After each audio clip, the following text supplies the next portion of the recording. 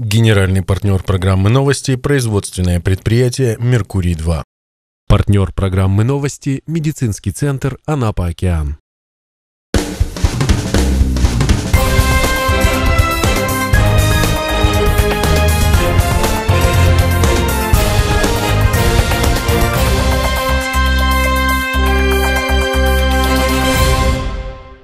В эфире новости Анапа регион. Я Ирина Меркурьева. Здравствуйте. Итак, смотрите сегодня в выпуске. Сработали оперативно, качественно сработали. Заслон эпидемиологической угрозе. Благодаря слаженному межведомственному взаимодействию в Анапе удалось предотвратить распространение опасной инфекции. Было принято решение о проектировании и строительстве новой блочно-модульной котельной. Перебоев в теплоснабжении больше не будет. Три многоквартирных дома, общежитие, детский сад и ФАП в селе Суко теперь будет отапливать новая котельная. Можно принести книги, э, игрушки, потому что предстоят новогодние праздники. Подарки первой необходимости. Побыть в роли Деда Мороза предлагают анапчанам социальные работники – План текущей рабочей недели обсудили в администрации города-курорта. Глава НАПа Юрий Поляков на общегородском совещании спросил заместителей, как они выполняют его поручения. Не сделать, отложить в долгий ящик или забыть – таких вариантов нет. В списке поручений главы создание сквера в селе Супсех. Юрий Федорович осмотрел территорию и дал поручение ускорить работу. Каждую неделю ему отчитываются, что сделано. Мы в течение двух дней бульдозером работаем и сегодня продолжаем, несмотря на погоду. Мусор вывезем весь на этой неделе. Проблема была в смежном участке. Частник планировал строить там магазин, но такое соседство не подходит будущему месту отдыха. Мы за неиспользование земельного участка в течение трех лет направили претензию на расторжение. А, месяц через несколько дней выйдет и потом повторное на, уже с соглашением на расторжение договора. Это на контроле. Значит, надо доработать эскизный проект. Я думаю, решение будет положительное, чтобы мы знали, к чему нам стремиться и сроки. Сроки, сроки, у нас сроки. В этом году муниципалитет направил 36 миллионов рублей на ремонт дорог в сельских округах. Работы завершаются. Какие участки сданы на прошедшей неделе, доложила Анжелика Бузунова. Были выполнены э, работы по асфальтированию улицы Ленина, хуторе Чекон, протяженность участка 1000 метров. Выполнены работы по асфальтированию улицы Молодежной, хуторе Чекон. Выполнены работы по асфальтированию Новосела в Рассвете. Также э, была заасфальтирована улица Новосела в Гайкадзоре. Актуальная на сегодня тема – приближающиеся праздники. И не только для коммунальных служб, для всего города. Часть новогодней атрибутики отправлена на доработку. В остальном еще неделя срока. Я хочу, чтобы вы обратили внимание на украшение города. Это касается потребительской сферы. Здесь санаторно-курортный комплекс. То есть заняться весь Пионерский проспект, весь город. Но сегодня нет художника, он скоро будет. То есть город весь должен быть украшен. То же самое это касается то, что от нас. Площади, обращаюсь ко всем главам сельских округов. Значит, неделю вам на все, а про все на следующей опланерке с фотографиями каждый доложит. На каждом планерном совещании звучит поручение главы по обращению анапчан. Чаще всего и на этот раз управлению ЖКХ. По Северной сегодня комиссионно, чтобы вот это жалоб у нас не было, Анжела Анатольевна, надо будет выехать туда, посмотреть, что с этой ливневкой, как ее отвести, потому что это проблема бесконечная, а по северной. Может, мы сможем как-то уменьшить этот вопрос для того, чтобы там э, один дом не топило все время. Задача понятна? Занимайтесь. Никита Бойко, Оксана Бакуменко, Александр Кореневский, Анапа регион. На отлично оценили работу анапских медиков краевые специалисты на учениях по отработке действий при эпидемиологической угрозе. По легенде, необходимо было снять самолет и доставить в больницу больного лихорадкой Эбола. В таких случаях должны соблюдаться все меры предосторожности, а городские службы работать как единый организм. Прибыла машина скорой медицинской помощи, прибыла машина Центра медицины катастроф. За происходящим в аэропорту наблюдают из центра единой дежурно-диспетчерской службы. Здесь находится штаб. По легенде учений, в аэропорту Витязева совершил посадку самолет из Москвы. У одного из пассажиров высокая температура и ряд других симптомов. Медики выяснили, что до этого он был в одной из стран африканского континента.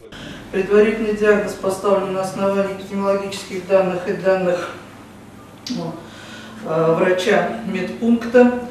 А, геморрагическая лихорадка неясного, неясной этиологии.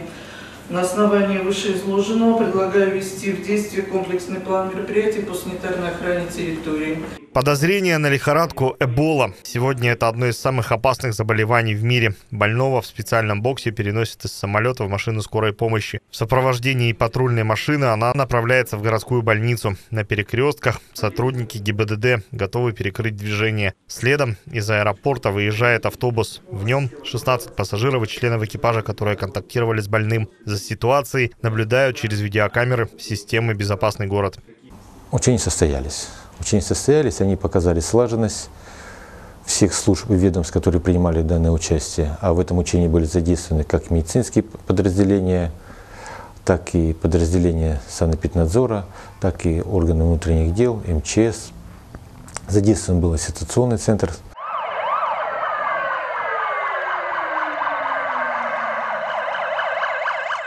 На первом этаже инфекционного отделения боксы с отдельными входами, не только изнутри, но и с улицы. В каждом свой санузел. В один из таких переносят пациента. Он в специальной капсуле. Главная задача – обеспечить полную изоляцию рабочей зоны. У пациента берут кровь на анализ. Обязательный для таких ситуаций запас медикаментов для особо опасных инфекций постоянно, постоянно в наличии, постоянно обновляются э, препараты, э, чтобы постоянно было фиксированное количество с хорошим сроком годности.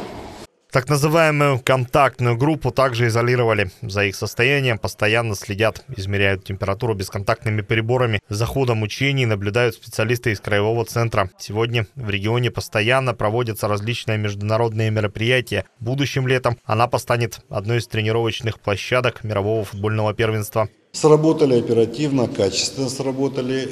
Оценка положительная. По пятибалльной? 5 баллов. Любое заболевание может быть завезено на территорию России э, в течение короткого инкубационного периода. Если э, самолет сели в инкубационном периоде где-то в Бразилии, через 17-18 часов человек может развернуть клинику на территории Российской Федерации. Поэтому мы должны э, работать по самому, так сказать, сложному сценарию и готовиться к любой инфекции, которая может э, возникнуть у наших гостей. Возможно, главный итог, по мнению медиков, если бы диагноз и были бы настоящими, то его с большой вероятностью удалось бы спасти, а эпидемию предотвратить. Александр Ребека, Михаил Григорьев, Руслан Душевский, Анапа регион.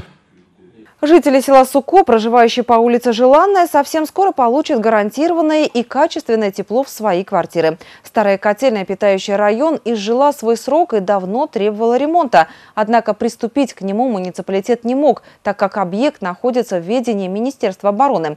Как городские власти решили проблему в материале наших корреспондентов. Ранее эти дома находились в ведении Министерства обороны. Позже были переданы на баланс муниципалитету. А вот котельная, которая отапливает эти дома, а также общежитие ФАП и детский сад, так и остались в собственности военных. Это старая котельная Министерства обороны. И э, многоквартирные жилые дома запитаны от этой котельной. Котельная в неудовлетворительном состоянии. Э, каждый год жалобы жителей на недостаточное теплоснабжение. Адми... Так как котельная принадлежит Министерству обороны, администрация вкладывать деньги на ремонт и реконструкцию данной котельной не вправе. Поэтому было принято решение о проектировании и строительстве новой блочно-модульной котельной. В 2015 году был выполнен проект строительства котельной и получено положительное заключение государственной экспертизы. В этом году его удалось включить в краевую программу «Модернизация систем теплоснабжения». Нам выделили средства на строительство котельной, краевые и местные. Строительство начато в конце лета и планируем его завершить до конца текущего года. В настоящее время ну, уже ведутся работы по завершению строительства тепловых сетей, обвязки газгольдеров, э, выполняются работы по устройству ограждения. Мощность новой котельной 2500 киловатт, а работает на сжиженном углеродном газе. Пока источником газа являются три подземных резервуара газгольдера, но в будущем котельную можно будет подключить и к сетевому газоснабжению. Протяженность тепловой сети почти 2,5 километра. Оборудование самое современное. Здесь даже не понадобится присутствие оператора. Умная электроника будет управлять теплом без вмешательства человека. А в случае сбоя в работе сигнал незамедлительно поступит специалисту. GSM-модем стоит здесь, вот, ему будет приходить уведомление, то, что что-то пришло в неисправности. Внутренние работы по установке оборудования полностью завершены. Рабочие приступили к облагораживанию территории. Для местных жителей это Это знаковое событие. Совсем скоро долгожданное и стабильное тепло придет в их дома. Очень большие средства были э, вообще на эту котельную затрачены. Но я надеюсь, что у нас будет тепло, будет у нас вода. Ну, естественно, я думаю, чтобы те, которые ведут монтаж этой котельни, после себя оставили благоустроенную территорию. Ну, а мы, как местные жители, местные жители, посадим здесь цветы, кустарники, и я думаю, все будет у нас нормально. Сейчас завершаются последние тестовые проверки, и уже 11 декабря приступят к пусконаладочным работам. Руслан Душевский, Анапа, регион. Уже завтра, 6 декабря, учащиеся 11 классов напишут сочинение, которое даст доступ к сдаче единого государственного экзамена. Это экзамен на общую эрудицию, при этом готовит к нему не только детей, но и родителей. Сегодня именно здесь главный фронт подготовки к первому этапу единого государственного экзамена. Кабинет школьного психолога. Такой есть в каждом учебном заведении. После того, как все необходимые знания получены, важно вселить уверенность в учеников. Им предлагают как бы заранее пережить все стрессовые моменты для того, чтобы на экзамен прийти с минимумом посторонних мыслей. Один на один с собственными знаниями. Ребята садятся в, э, в, как бы в кружок, каждый представляется, каждый рассказывает о своих сильных сторонах, о своих слабых сторонах.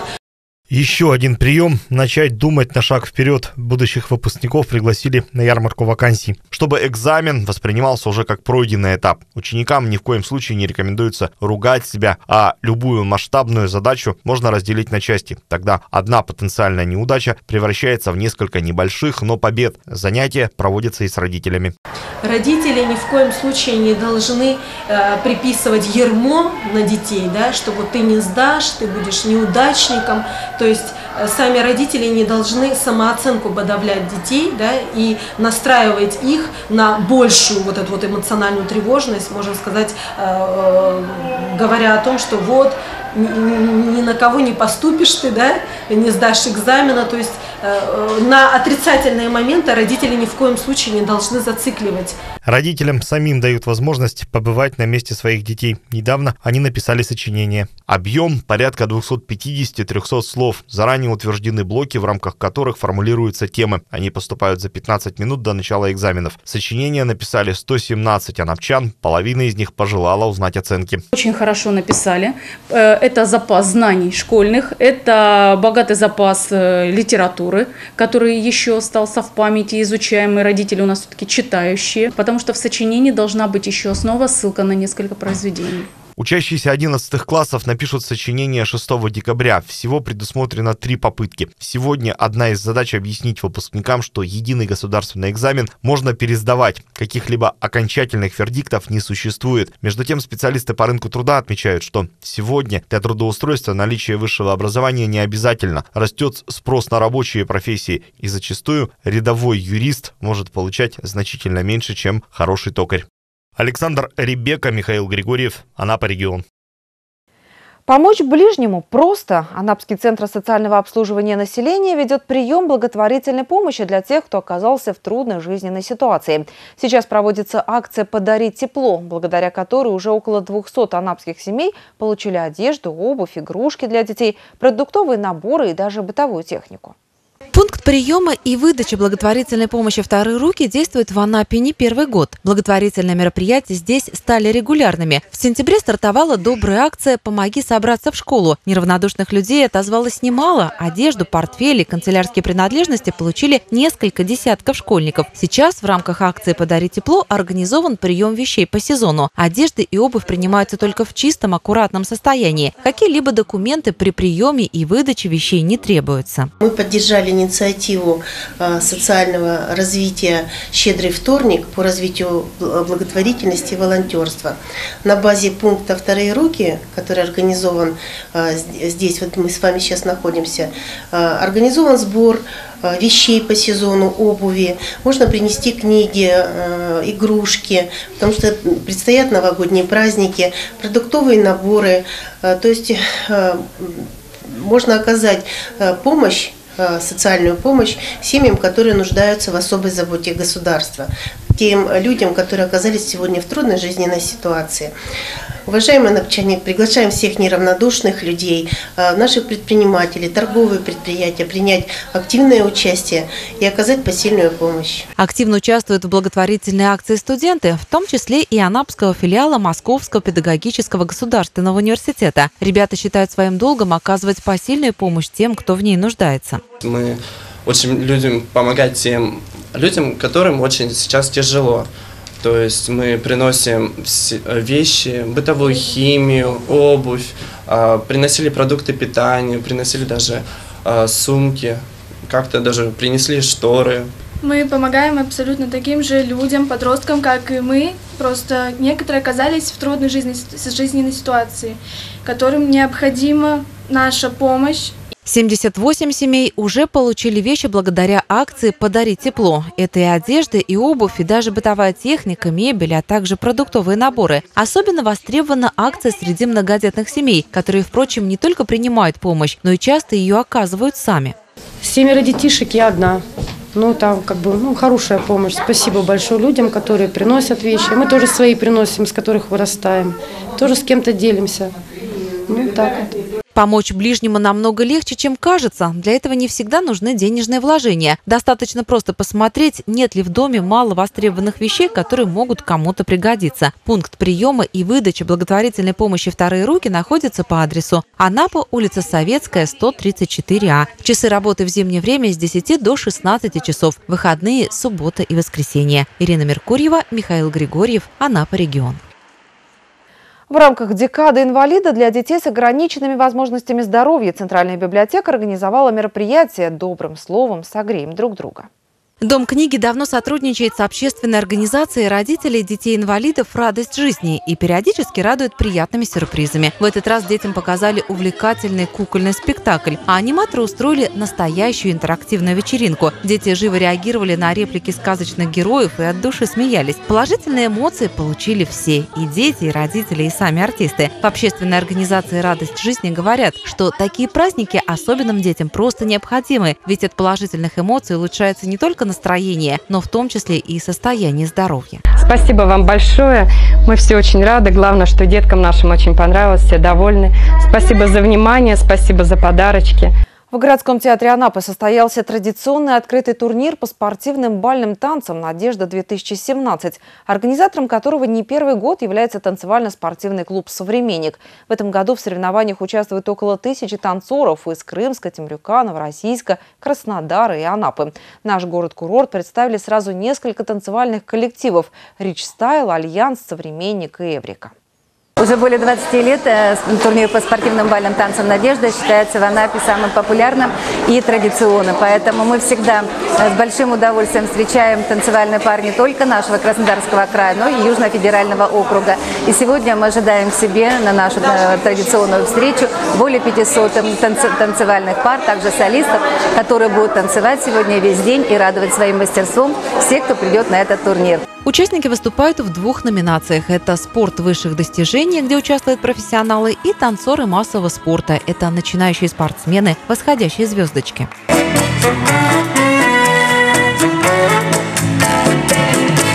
Возраст участников от 5 до 50 лет. В жюри профессиональные танцоры и хореографы со всего Южного федерального округа. Конкурсантам пришлось выложиться на полную, чтобы доказать свое превосходство. По итогам соревнований в общекомандном зачете третье место досталось коллективу из Темрюка. На втором – танцоры из Новороссийска. Победу, как и в прошлом году, одержали творческие коллективы из Анапы.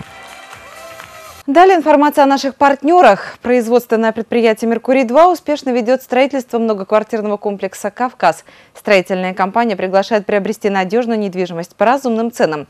Деловой партнер программы «Новости» медицинский центр «Анапокеан» предлагает качественную комплексную медицинскую помощь, начиная от первичной консультации и диагностики, амбулаторно-поликлинического и стационарного лечения, включая реабилитацию. Доверяйте свое здоровье профессионалам. Все выпуски новостей вы всегда можете найти на нашем сайте «Анапорегион ру. Я с вами прощаюсь. До встречи. Доступные квартиры в комплексе «Кавказ» от надежного застройщика «Меркурий-2» в курортном районе Анапы. Детские и спортивные площадки, автопарковка, квартиры с видом на море. Рассрочка оплаты. Первая очередь уже сдана в эксплуатацию. Звоните 48 300. Специальное предложение для женщин. Консультация гинеколога плюс УЗИ всего за 998 рублей. Для мужчин уролог и УЗИ за 998 рублей. Анапа Океан. Ваше здоровье в надежных руках. Подробности по телефону 424 19.